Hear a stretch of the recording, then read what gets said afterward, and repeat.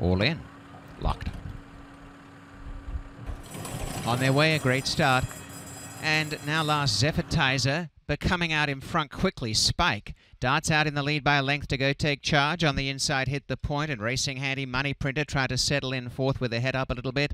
Zephyrtizers come through on the inside from Opus North, and Enchant Me is last. That is the early running order as they turn out the stretch, and in front by a length and a half, Spike. Up in second, go take charge. One away, third, hit the point. Money Printer ahead away on the outside. The top two in the betting lying third and fourth, three off the lead. Another length and a half to Zephyrtizer. Opus North is next, and length away last, Enchant Me.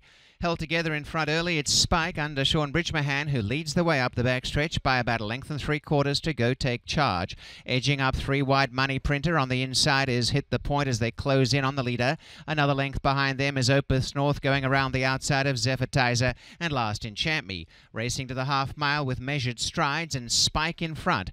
Go take charge second. Money Printer caught a little bit wide, but going up as they are starting to really assert on this leader. On the inside, hit the point, and two and a half to Opus North, called up in third last position from Enchant Me and Zephyrtizer's last. Go take charge has gone to the front.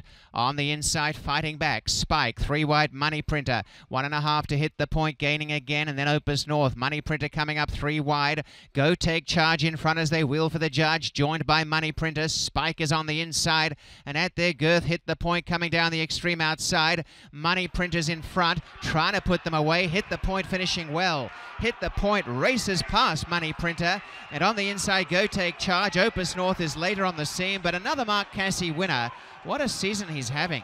Hit the point by two lengths for Kazushi Kimura. Second is Go Take Charge from Opus North Money Printer, Spike, and then Enchant Me. And Zephyrtizer was a distant last.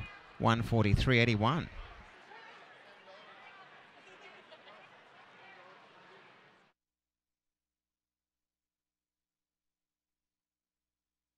Uh, Casse just churning up win after win, and that's a third for the day.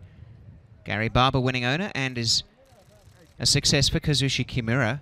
This big gelding three by point of entry from Barbeka was bred by St. Simon.